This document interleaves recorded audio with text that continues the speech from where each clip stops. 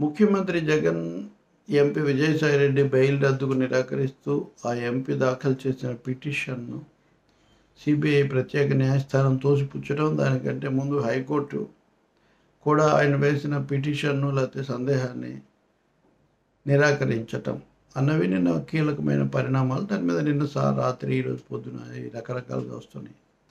ఇందులో ముఖ్యమైనది ఏంటి అంటే బెయిల్ షరతులు ఉల్లంఘించారు అనడానికి ఆధారాలు ఏమిటి లేవు అన్నది. సిబిఐ ఎవరైతే బెయిల్ ఆ కేసులో ప్రధానమైన అటువైపు నుంచి వ్యతిరేకంగా వాదించారో వాళ్ళు వాదించలేదు. అంటే వాళ్ళకి ఆ ఉద్దేశం లేదు. ఇది ముందు నుంచి స్పష్టమవుతూనే ఉంది. ఇప్పుడు సాక్షి వెబ్సైట్లో పెట్టారు కాబట్టి కోర్టు ఇలా చెప్పింది కాబట్టి దీని మీద వెళ్ళొచ్చు. కానీ ఇందులో ముఖ్యంగా గమనించాల్సిన అంశం ఒకటే. హైకోర్టు కూడా ఎంపీని పిటిషనర్ను థర్డ్ పార్టీ మూడో పక్షం ఈ కేసు అంటే కేసులో ప్రధాన పక్షాలు నిందితులు దర్యాప్తు సంస్థ. మూడో పక్షం అని స్పష్టం చేయటం అనేది ఒకటి. రెండవది విదేశాలకు వెళ్ళడానికి అనుమతి ఇచ్చినంత మాత్రాన కోర్టు యొక్క నిష్పాక్షికతను అనుమానించడం సరికాదు అని స్పష్టం చేయటం రెండవది. అందుకంటే ముఖ్యమైన ఆ తర్వాత కూడా వీళ్ళు చేస్తున్న వాదన ఒకటే. ముఖ్యమంత్రి హోదాలో ఆయన నిందితులైన ఏఎస్లకు పదవులు ఇస్తున్నారు అని. ఇక్కడ ముఖ్యమంత్రి ఏమన్ ఇప్పుడు ఆయన అప్పుడు ప్రతిపక్ష నాయకుడు కూడా కాదు ఎంపీగా ఉన్నప్పుడు పెట్టిన కేసు అది. నిందితులు వేరు నేరస్తులు వేరు. నిందితుడిగా ఉన్నప్పటికీ కూడా ముఖ్యమంత్రి కావచ్చు అని రాజ్యాంగం అనుమతించి ముఖ్యమంత్రి అయిన తర్వాత అందులో ఏ టూలో ఏ ఫైవ్లో ఉన్న కొంతమంది అధికారులను నియమించడానికి ఎట్లాంటి ఆటంకాలు వస్తాయి? అంటే ప్రధానమైన స్థానంలో ఉన్న వ్యక్తి ముఖ్యమంత్రి కావడానికి రాజ్యాంగ పరంగా అవకాశం ఉన్నప్పుడు ఆయన ఆ హోదాలో తీసుకునే పనుల మీద ఆంక్షలు ఎవరు పెట్టారు? నియామకాలు పలానా చేయాలి పలానా చేయకూడదు అని ఎవరన్నా ఆదేశించారు? అట్లాంటివి ఏం లేవే. బేషరత్తుగా ఆయన ముఖ్యమంత్రి అయ్యారు. ఒకవేళ ఆయన చేసిన వాటిలో ఏదైనా ఫలానాది నిర్దిష్టంగా తప్పు అంటే అప్పుడు నిర్దిష్టంగా చూపించారు అలాగే అలా కాకుండా అధికారుల నియామకం అనే దాన్ని ప్రశ్నార్థకం చేయటం. అధికారులను నియమించడానికి ముఖ్యమంత్రికి ఎట్లాగో అధికారం ఉంటుంది. వాటిని ఏమి న్యాయస్థానాలు కుదించలేదు. ఇక్కడ గుర్తించాల్సింది రాజకీయ విమర్శలు వేరు. అలాగే అవినీతి పరుడు అని ఎన్నిసార్లు అయినా ఎవరినైనా ఎవరైనా అనొచ్చు. అంత మాత్రం న్యాయస్థానంలో ఎలా అవుతుంది? దర్యాప్తు సంస్థ నిరూపించాలి న్యాయస్థానం నిర్ధారించాలి శిక్ష పడాలి. ఆ తర్వాత ఆంక్షలు వస్తాయి. అలా కాకుండా ముందుగా సందేహం ఉందనో రాజకీయ అభిప్రాయం ఉందని ఎవరినైనా సరే ఆ జయలలిత ప్రమాణ స్వీకారాన్ని ఆపితే ఆమె తర్వాత ముఖ్యమంత్రి అయ్యారు. అప్పటికే ఆమె స్వయంగా వ్యక్తిగతంగా ఈ రెండో తేడా కూడా గుర్తించాలి లాలూ ప్రసాద్ యాదవ్ జయలలిత లాంటి వాళ్ళు స్వయంగా పదవుల్లో ఉన్నవాళ్ళు.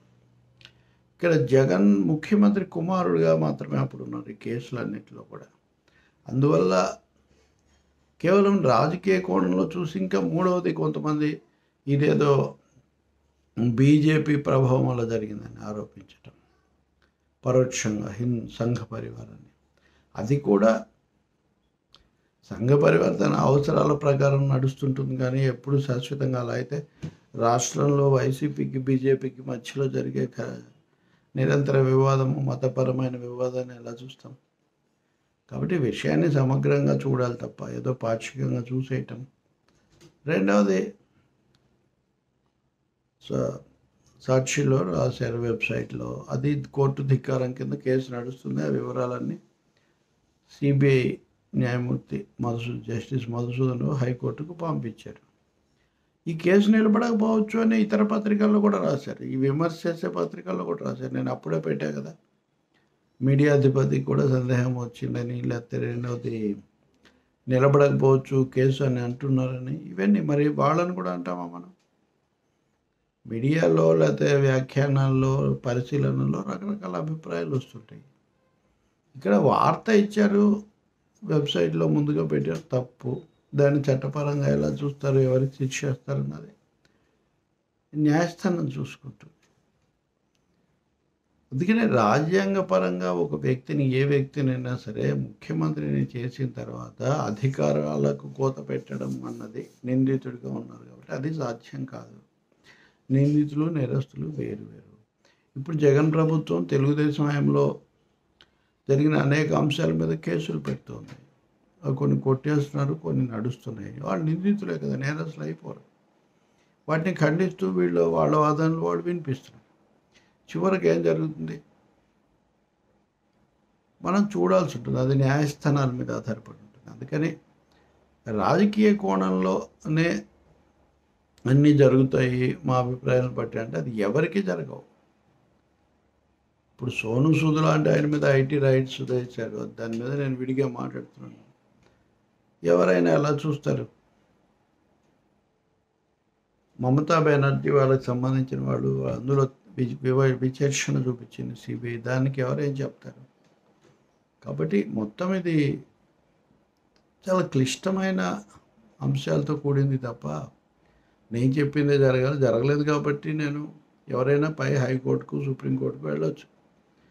వెళ్ళినా కానీ తర్కమే పెద్ద తలకిందులు కాదు. వీళ్ళ తరఫున వాదించిన న్యాయవాది అప్పుడు కూడా ఆయన బాడీ లాంగ్వేజ్ని బట్టి చూస్తే అప్పటికే కొంత నిరుత్సాహం కనిపించిందని నేను అప్పుడు అన్నది ఎవరు నాకు గుర్తు చేశారు. ఇప్పుడు ఆయన చేసే వాదనలు మరింత విచిత్రంగా ఉన్నాయి. నా నా పాయింట్లన్నీ కరెక్టే నా పాయింట్లన్నీ కరెక్టే. మీ పాయింట్లు కరెక్టే కానీ కోర్టు కన్విన్స్ కావాలి కదా. కరెక్ట్ అయితే ఒకటి కరెక్ట్ అయినా కన్విన్స్ అయ్యే అవకాశం ఉండేది కదా. కాబట్టి కొత్తగా వ్యూహం రూపొందించుకోవాలని ఆలోచించే బదులు నా పాయింట్లు కరెక్టు కోర్టే పొరపాటు అన్నట్టుగా ప్రతి ఏ లాయర్ అయినా భావించవచ్చు. దానివల్ల పెద్ద ప్రాక్టికల్గా ఏమి ఉపయోగం ఉండదు.